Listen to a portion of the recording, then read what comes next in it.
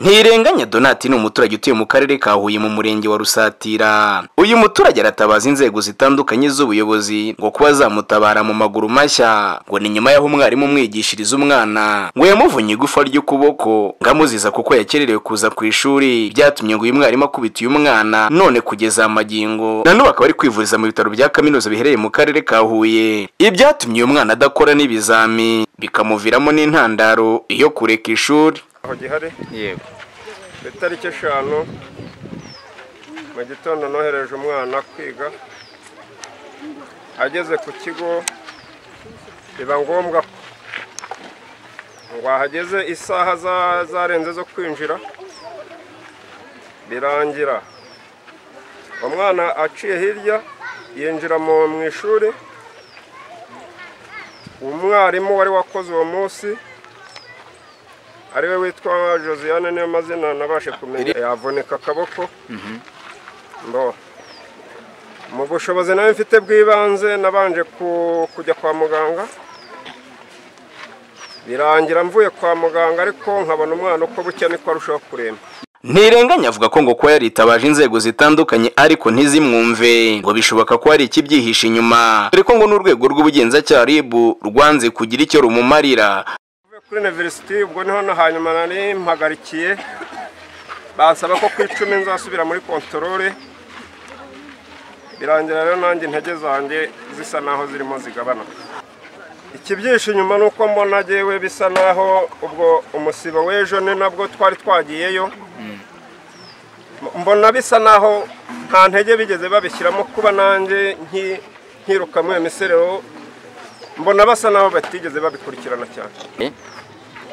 Ubwo nanjye ni cyo kibazo nanjye mfite magingo aya ngaya kuko abandi bana kugera ku itariki basa n'aho baje kumva amanota yabo ubwo wanjye sinzi agace bari. Umunyamakuru wa btn tv yaje kuganira n'uyu mwana maze amubwira intimba n'agahinda kwitwa n'uyu mwarimu kugeza ubwo ngo amuvunnye igufwa bikamuviramo n'intandaro yo kureka ishuri. Ubwo ngubwo ngitangira kwandika aza araza aransohora. Ara- aravuga ngo ndashaka umunyeshuri winjiyemo hano. Ubwo ndasohoka. Ndagenda nkubita nyuma y'abandi ankubita inkoni arambwira ngo wowe wiga no mu wa gatandatu ndagukubita inkoni zirindwi. Ankubita ebyiri ku kuboko ankubita n'izindi eshanu ku kibuno numva akaboko karavunitse. Ariko ntabwo kandyaga cyane. Imvune yandiye nimugoroba hahose yavuyemo kubera iyo mpamvu y'akaboko. Ndasaba ko mwandenganura umunyamakuru wa btn tv yaje kugera ku rwunge rw'amashuri rwa nyagisenyi aho twashakaga kumubaza nimba ibyo bamutunga agatoki byaba ari ukuri. Uyu mwarimu yabanje kwanga kuvugana n'itangazamakuru kugeza ubu ubuyobozi bw'ikigo bwaje kumuhendahenda ngo abe yavugana n'itangazamakuru ibyo bamunga agatoki ntabwo ari byo Sina- sinavuga ngo ni byo kuko ntabwo ari byo. Okay uko ubyumva nanjye nuko mbyumva. Ntabwo namukubise. Wabigenje uti? Naramuhanye ababyeyi batuye muri aka gace ndetse n'abarerera ku rwunge rw'amashuri rwa nyagisenyi bifuza ko ngo uyu mwarimu yakurikiranwa n'amategeko kuko ngo ibyo yakoze ari amahane akomeye cyane. Ngo yo gufata umwana ukamukubita kugeza umuvunnye ukuboko. Turebye uriya mwana uko ameze? Yego. ni akarengane reba abarimu ntabwo bategekeye gukora Yego. abana. Bakwiye kubabwiza ururimi nk'uko n'umubyeyi ahora yi- yihangayitse gukubita umwana si ngombwa nta n'ubwo. Yigisha ntabwo yemewe gukubita umwana akamukuramo akaboko kuri nimba yakererewe agomba ku- kumubwira ati subira imuhira uzane ababyeyi bawe. Ki- kirahari nyine ni kwa kutemera ko abanyarwanda bamwe bakora amakosa ntibemere none se nimba yaremereye kuri ribu ngo yaramukubise kuki ahakana akaba yanze no bije ahubwo cyane cyane nk'uko leta y'u rwanda yacu ivugira ireme ry'uburezi ibisiri niryo reme ry'uburezi batubwira. Nimba rero kudukubitira abana gutya ari ryo reme ry'uburezi riri nyagisenyi nabwo twabimenya. Ikibyihishe inyuma kuko ntabwo umuntu yabona umwana ameze gutya ngo avuge ngo utaha ngo ugenda ntabwo yagakwiye kwitaba ubugenzacyaha ngo atahe. Umuyobozi w'akarere ka huye sebutege anje ku murongo wa telefone avugana na btn tv yavuze ko ngo iki kibazo batari bakizi ariko ngo bagiye kugikurikirana byimbitse. Uyu mwana akaba yahabwa ubutabera ndetse agafashwa akaba yavuzwa hakiri kare kugira ngo azasubire mu ishuri. Ni kibazo nta buyobozi bwari bukizi ari umubyeyi nawe sinzi ko ari ubuyobozi yaba yarakubwiye yakigejejeho ariko ubwo duha amazina n'abakurikirana ari ubutabera ari n'iki? Umwana niba ari mu busanzwe mu rwanda icyaha cyo gukubita no gukomeretsa ni icyaha gihanirwa n'amategeko ariko byayobaje cyane. Kubona uyu mwana yaritabaje inzego zitandukanye ngo ze zamurenganura abashe kuba yavuzwa. Ibyatumye ibizami ataranabikoze kugeza na n'ubu akaba agikomeje kwivuriza mu bitaro bitandukanye. Nubwo yaba banagaragaza ko nta mikoro bafite. Iyi ni BTN TV Ngendimahoro Samsoni ahanini mu murenge wa Rusatira. Aha ni mu karere ka Huye ndi mu ntara y'Amajyepfo.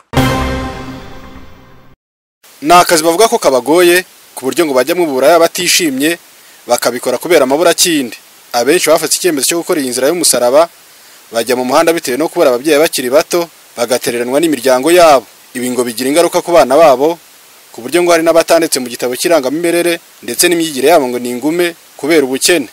Ndibuze kukubwira ko hari ujyamo abishaka kubera ko ntabwo tujya dukunda. Uje uzanye amafaranga ndagukunda waba wambaye nabi ufite amafaranga ndagukunda waba wambaye neza ufite amafaranga ndagukunda. Ntabwo ushobora kuza rero ngo usa neza ngo ndibuze kuza kukwemera kuryamana nawe nta mafaranga umpaye. Niyo mpamvu rero uburaya nta muntu uba ujyamo anezerewe. Nta muntu ujyamo abishaka ajyamo kubera ubuzima. Hari impamvu ituma umuntu ajyamo? Sinifuza ko ubuzima mbamo. N'abana banjye bazabubamo isa n'uyu munota abana banjye ntibagira aho babarizwa. Ntibanditse bariga bageze mu wa kabiri segonderi biga hano semburine babasha kubona ubushobozi bwo kwishyurira umwe biringira ngo yarangije umwaka wa mbere ntarishyura n'igiceri na kimwe. Ingora nyine ko icyo bashatse nk'abana ntabwo nkibabonera nk'uko bikwiye. Ko mbayeho biragoye. Ko nubwo nacuruzaga akabari n'uwo mugabo ntiyaza ngo musubize inyuma. Ariko numvaga ko nabireka burundu ko nta gukora uburaya. Ufite abana b'imyaka cumi n'itandatu na cumi n'ine ari abakobwa. Baba bazi icyatsi n'ururo byose baba babizi uburaya twakabuvamo ko ntabwo ari bwiza tubukora tutishimye. Si bwiza pe. Ikibazo dufite ni ubushobozi buke. Nabuze ababyeyi nkiri mutoya nsanga nta kindi cyamfasha. N'uwo negereye akambwira ati urabizi buriya mu muhanda harimo amafaranga. Mbona nta kundi ndi bubigenze nyine njya mu muhanda. Nkora uburaya ntabiteguye. Icyifuzo cyabo ni uko bafashwa bakava mu buraya kuko ubuzima bwabo bumeze nabi ndetse bagafashwa abana babo bakandikwa bakishyurirwa n'ishuri na ba nyina bagahabwa igishoro bagatangira gucuruza bakiteza imbere. Nanjye nasabaga ubufasha bwo kugira ngo abana banjye babeho nk'uko mbyifuza ntibazabeho nk'uko ngewe nabayeho. Nti- nti- ntibanditse ntibaniga uko bikwiye. Ubu nk'ubu wa kabiri ubu wa kabiri wa cumi n'ine ntiyabonye birote kuko ntabashije kumwishyurira. Bansaba ko bamfasha nyine abana banjye bakandikwa bakanishyura leta idufashije njye na bagenzi banjye. Ikintu cya mbere kitubabaza cyane ni abana bacu. Ko dufite abana batari bato pe. Bakeneye kwiga. Kandi ubushobozi dufite ntabwo ari ubwo kwiga. Niyo bata- batabishyurira ngo bige amasegonderi ariko bigishije imyuga byadufasha natwe ubwacu. Ni ukuri bamfashije nabuvamo kuko nta cyiza cyabo. Na bagenzi banjye iyo tuganira twese dufite intumbero yo kubuvamo. Ikibazo dufite ni ubushobozi buke. Umuyobozi w'akarere ka rusizi dr. Kibirigani seti avuga ko abakora uburaya babashakiye isoko ku buryo mu minsi mike batangira kubaha igishoro bagacuruza bakiteza imbere bagasezera uburaya burundu. Bose nabo tubashyira hamwe noneho tukabashakira imyuga bashobora gukora noneho bakava mwa- mwa kariya kazi kadashimishije bo bakumva ko ari akazi ariko mu by'ukuri ntabwo ari ubuzima umuntu akwiriye kubamo. Ubu twabasabye ko eh, mu by'ukuri babanza bakaza bakanareba na hariya n'ejo rwose batangira bakaza bakajya kwa ririya soko bakareba ah, kugira ngo tubashe kubafasha. Buriya uvuze ngo urafasha umuntu umwe gutya mu by'ukuri ntabwo wubaka neza. Icyiza ni uko bashyira hamwe. Bakajya muri koperative cyangwa se muri ya mashyirahamwe noneho tukabagenera tukabashakira igishoro tubafasha. Muzi ko bamwe batangiye kujyamo hariya twatangiye kubashakira imibe- imibereho n'imikorere mu karere ka rusizi habarirwa abakora uburaya barenga igihumbi bagiye bitwa amazina atandukanye aho abikameme bitwa indangamirwa ab'inyamasheke bakitwa abahetsi mu gihe abo mu bugarama bitwa biyemeje imihigo cyakora bakaba basaba ko bahabwa icyo bakora bakava mu buraya. Akimana ernest btn tv mu karere ka rusizi.